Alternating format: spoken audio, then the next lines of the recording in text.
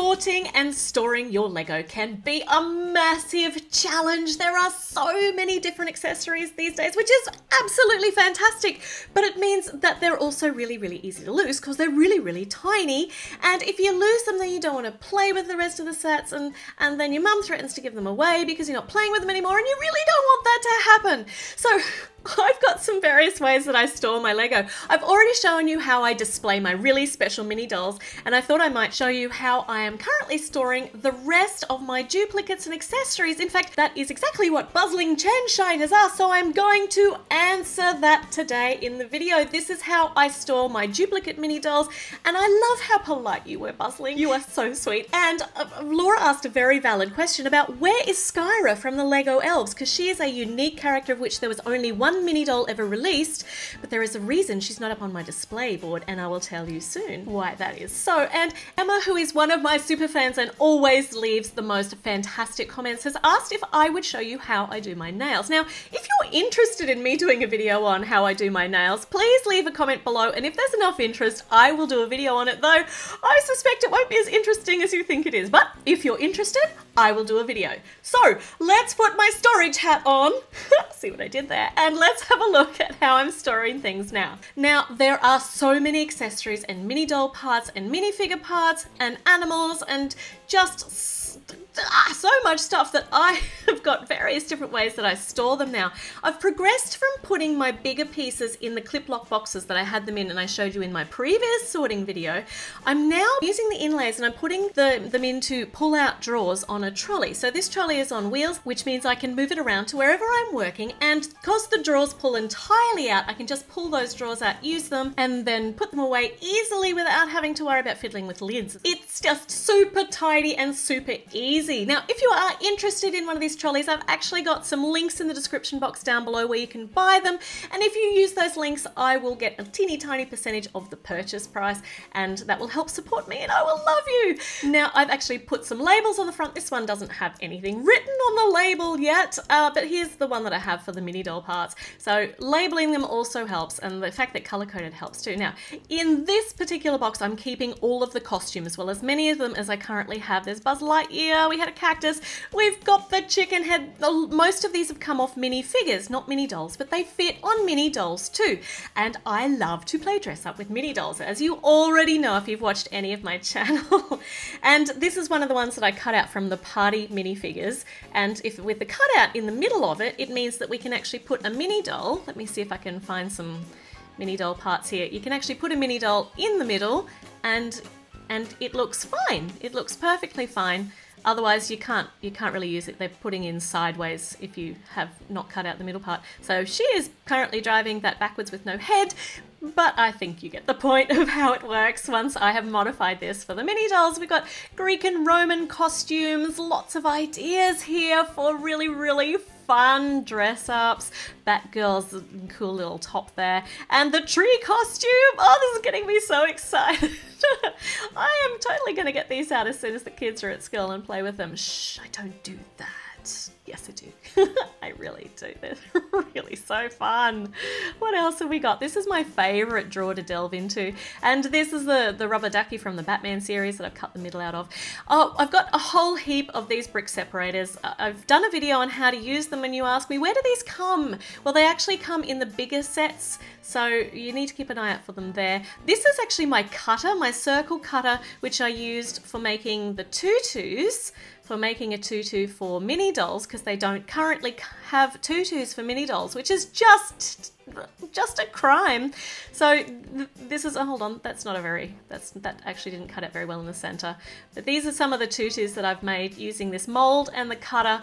And for when I want a bevy of ballerinas, I have got my cutters nice and close at hand. Over here, I've got all my stickers. A lot of these have actually come from a subscription pack that I used to have, which was called Brick Pack, which is now, it doesn't exist anymore, but they have got some awesome creative ideas. And the comic books that were actually included in Olivia's parents parents' bedrooms custom build that I did recently, they all came from those particular stickers. And some of the sets come with duplicate sheets of stickers. So when I get a duplicate sheet, I put it in here just in case I want them for some reason. But I've got some awesomely fun ones in here that I'm really gonna have to, I'm gonna have to make some custom builds to go with them. Check these out. These are some of my favorites. They're movie posters for like the Lion Fig and Jurassic Brick. And there's some super fig ones here too. So I might need to make some more mini doll superheroes now that the DC superhero girls have stopped being made. So sad. Okay, well, over here, this is hair. Lots and lots of hair. And in the middle, I keep the ones that are really, really common. So all the Mia hair, I have so many of these. So Mia hair, original Olivia hair, uh, Emma hair, and we're, we're still going to have more of them. Stephanie hair, once again, we're still going to be getting more of them because they're still the same. Andrea hair, and some of the elves ones, which I've got lots of duplicates of. So with Naida and Aira, uh, and, and if I if I ever want to do some hair modifications, like hack into the hair or cut off elves ears, that's where I go to first because I know I've got lots of them. And over here are the hair that the girls' hair, generally that's less common. So we've got some really cutie pie stuff here. This one was from the vet in the minifigures series and I've never seen that one again. Livi's hair in pink. And that one was Joy's hair. We haven't seen that in brown again. This is some of the hair pieces. These are some of the hair pieces that I've painted. So Emma's hair in metallic blue and a Harley Quinn. I've got a couple of these and you know what? I actually don't love them. So I might end up customizing them. And Nya's hair from the Ninjago sets, the newer ones. I really like that. Even got a Princess Leia slave, can't even say that, slave braid in here as well. Lots and lots of choices here once again for dress ups. I love dress ups. We got some white hair, which is really useful for when we're doing some older characters or younger characters that want white hair. Love this hair piece. This one actually came off the Lego Dimensions uh, Adventure Time Marceline character. So that was that was actually really hard to get my hands on and I keep it very safe here. It's very precious. Some more that I've colored and I love them. There's just so many options here. Now over here I have kept the hair with hats hats and hats. That's my official name for it. So this one is Stephanie's with the, the visor on. It's coming one of the, I think that one was from the mall set. And the cat's ears, these are also going to be good for dress ups. It's all good for dress ups. Hats, hats, hats everywhere. Lots of hats. Some hats with hair. This one's off the, uh, the archaeologist, I think, from the minifigures and some a mohawk. There's good stuff in here. I get so excited going through here. A skiing braid there with Emma hair by the look of it. And just so many options. There are turbans in here, or that one was that one actually came off Sophie from the mall set, and some hard hats with some headphones, and oh look, and, and mini mini mouse bows. so much exciting stuff. And capes so many choices here. We've got, that's one of the veils that I made for Sophie's wedding. So I always make a practice. so I always have a spare, which is nice. Superhero capes, sparkly capes, lots of, oh, that one's got grub all over it. I might have to clean that one up. Ugh, I wonder how I'm going to get that grub off. I will find out. I'll have an experiment. So lots and lots of choices here. The mini figure capes don't they swing around a little bit more on the mini dolls than, than they do on minifigures, but they still work. So I like to have them there for dress ups. So many dress up choices. okay. Wow. All right. Now we're up to the body parts drawer. Lots and lots of body parts. Sounds terrible. And I've actually added some of my elves duplicates in here because, uh, well, I'm really having lots of fun customizing mini dolls, so I need to know what I have lots of. So here we've got a whole load of torsos, and there are some epic looking ones in here. This one's the only one in this design with the swimsuit, with the wetsuit that Mia had. There's Rapunzel top, lots of choices there. And, and over here we've got some legs, Lots of legs. A lot of these can go on both boys or girls.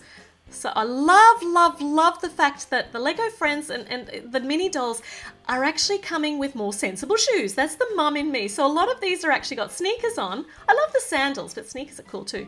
And of course, no shoes here for the little mermaid when she turns into a person with legs. It's not like she wasn't a person before. And some darker skin characters over here. We got the torsos and the legs together. I've also got Azari, uh, the duplicates over here as well. And you know what? These are there are very few yellow and oranges amongst the lighter skinned pieces. And I love yellow, it's my favorite color. So I love to look in this particular side and see all of that bright yellow and orange. It makes me really, really happy. And nestled in the middle are all the long sleeves and the long pants. Some of these are unisex, so you can use them for boys or you can use them for girls. Really cool, the skiing gear good for when I'm doing Christmas videos or whether it's when it's winter. It's just really cool to have all of these options and some superhero options in here too. These, these pants came from the Flash character and these ones I've got a couple of now and the Magician's top that Mia wore. So much cool stuff. it's really, really good. And Anna has got, we've seen this outfit quite a few times, so I've got that one in there knowing that I can customize it if I want to. Now the heads. I also have a box full of heads. You're not strange at all, Ellie. I've got a whole heap down here which you've seen before with all of the original Lego Friends girls heads in them. So Andrea, Mia, Stephanie, Emma, Olivia, and I've got so many of them that this is where I go to first when I'm looking for some for a customized character. Over here I've got all of the short hair. Here's, uh, here's the Green Ninja Lloyd's hoodie. That's really cool. And of course most of this is stuff for boys though. You can, of course, you can put them on girls. Pixie cut on girls looks so super cute. I love this hedgehog spiky hair. And uh, look, the Joker's hair is crept in here too, though. It's probably more of a dress up one. And a beard. I love it as a caveman look. or a Hagrid look. Or just a beardy, hairy person look. And this opens up so many options. I love having the bald, the bald grey hair. That's really cool. Now up here, I've got, you know, Daniel's a new character and he's really is currently unique. He is, he should be on my display, but I haven't put him up there yet because I don't love him enough. Isn't that terrible? But he actually has got, see, these are the other boy faces and they have a different shape. So his face is like the man mini doll shape, but it still looks very boyish. So he's definitely unique at the moment. Boy torsos, which are very, very flat down the front got got a few of them. I've put some of the princes in here too when I've got some duplicates. It's nice to be able to just dig in here and find what I need. Here's the Flashes top and here is our naked torso which was just currently released in the resort which is really really cool. Got a few of these Farran tops too from the Lego Elves though I keep the other Lego Elves ones somewhere else and I'll show you them in a moment. Boys heads different shape to the men's heads so I keep them separately. of course, of course, I'm sure they'd get on if I put them in together, but separate is easier to find. Men torsos are a bit, they're a bit bigger around, around the shoulders. Here we go, here's one from Frozen, but we could use this for any sort of winter gear or any sort of winter dress up, though he is kind of distinctive, isn't he? Love this braces guy. And here are our men's heads with beards, and these are where the dads tend to hang out. Though some of oh, oh look, no hold on, that's that's that's Flynn that's Flynn from the Rapunzel. And I just love the fact that some of them have got much more expressive faces than they used to have. Look, the little co cocked eyebrow there. Really cool. That's really, really exciting. And uh, in this one, I've got some of my, my practice pieces. This just kind of the everything compartment. This is my practice Evie head. Uh, and, and a practice apron for the Alice in Wonderland, and a practice tail for Cat Noir, and I've got just, just random things in here. There's a little round the round the middle belty type thing that I can attach stuff to. And some of these heads I've already modified. So this is actually a Azari's face from the Lego Elves and I have already rubbed off or erased, quite literally erased with a pencil eraser, the tattoo markings on her face, which means I can use her for other things now that aren't so magical and fanciful. I've darkened the lips on this little one here, so I've put her in here. And this is Farran's face, I think. So I've taken Farran's markings off. Where are my Farran pieces? Oh, hold on, no, they won't be in there. They'll be in the Lego Elves one, which is down here. Okay, we're doing well. These are the heads which are not quite so common. So this is this is my drawer that I don't tend to dig into when I am wanting to customize, but when I want to set up, this is a Livi head, when I want to set up something cool, this is cool. Look, Livi has got lavender eyes, but Vicky has also now got lavender eyes. So that's two Lego Friends characters with lavender eyes now. I like that. That's really fun. And Emily Jones is also, we've got quite a few Emily Jones faces. Love her cute little freckles.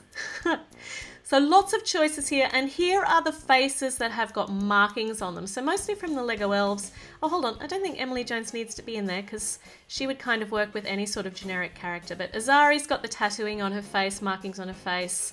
We'll move. And, and the masks from the superhero girls, they kind of don't work for everything. So this is where we look when I'm looking for something a bit special over there. Not that, you know, the other ones aren't special, but these ones are a bit different. I don't have too many of these skirt pieces and I certainly don't have too many duplicates. I do have a few of the Anna ones but I've already already modified a few of them. And over here, I've got all the ladies, all the ladies in the house, the mums and the teachers and the doctors and the vets and the scientists. They're all in here. Actually, they're not because some of the mum characters are actually up on my board. so we actually don't have a lot of pieces in here. Actually, I need to put, I need to move Dotty. Oh, that's Stephanie's mum's proper top. I need to change that over because she obviously is not wearing the right top. And there's the teachers uh, Teacher's Fates. I need to put Dottie in here eventually. At the moment, she's still hanging out in the diner, but she'll go in here when I need to store her somewhere nice and safe. So that's that box done. Here's my other box. These are my duplicates of characters. The Lego Friends for 2018, the reboot, they have a different look. So at the moment, I'm keeping them together because I don't have too many duplicates. Andrea's got some of the best outfits. She is Metallic City, always shiny. Olivia has got a brand new skin color, so this is the these are the only pieces that I have with this skin color, so it's very precious. Keep them here. Stephanie, eh, she's got I've got I seem to have a lot of Stephanies here. Actually, look at this. So this is from the beginning of the year on the left-hand side, and on the right-hand side is the middle of the year face. So they've definitely changed. Oh, hold on, or have I marked that up? Has she got the old face on there from the original? Let me get one of the old faces from the old Lego Friends characters because it looks kind of. Oh no, okay, so they've definitely modified the facial features halfway through the year, which is a good thing because it looks a lot better. I was curious, I did think that that had happened, but I hadn't actually checked before. Emma has also got some really, really great outfits. I love it. Now, duplicate Disney characters. I've got two Moanas, they're two, both different, and two Auroras, also both different, but I prefer the other Aurora that is on my display board. I just, I just prefer her. She's She's my favourite. and some of the subsidiary Disney characters over here, like the Brothers Bear and Olaf's and all sorts of things. Uh, as, oh, this is cool. The Lego elves, they have different outfits. I'm sure you will have noticed this if you collect Lego elves, but they get some pretty rockin' outfits. So very few duplicates past the first year.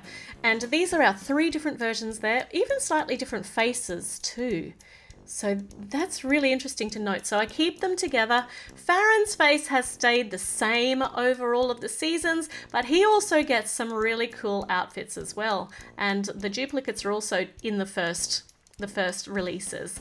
Uh, Aira has also, we, we, I just I just love these. Got lots and lots of Airas here, but all of them are wearing different outfits.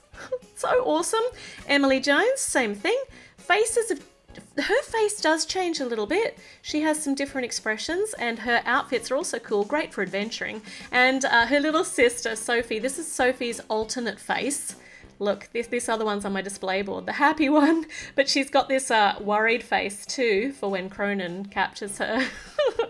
so it's cool to have different facial expressions. Uh, Naida over here, also great outfits, lots of different ones. I love the new armor ones. And down here are some of the extra characters. Now, here's the answer to Laura's question. Here's Skyra's head and her face. I've kept her very safe because she's unique, but her body is currently up on the board being Sophie's wedding dress. Did you notice that? I'm sure some of you would have noticed that. So I know where it is, but I'm keeping it safe. I've also kept her cloak in here. Hold on, she should have a purple cloak. Uh, extra Cronan tops, and of course another extra one of this little fellow because he's just gorgeous.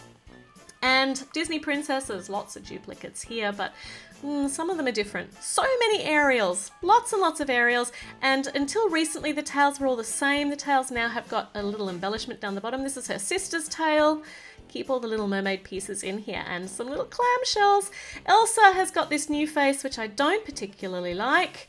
And mind you, she might look at me and say, hey, I don't particularly like your face either, and that would be totally fair. Uh, I do like the Frozen Fever version of Elsa in the green, it's really nice. Different versions of Anna too, heaps of these. Well, not heaps, but lots. And I like this one. And I also like this one, but once again, my favorite is up on the board. I hope you saw her. She, she's got lots of really nice outfits. Lots of Cinderellas, all of them with different outfits.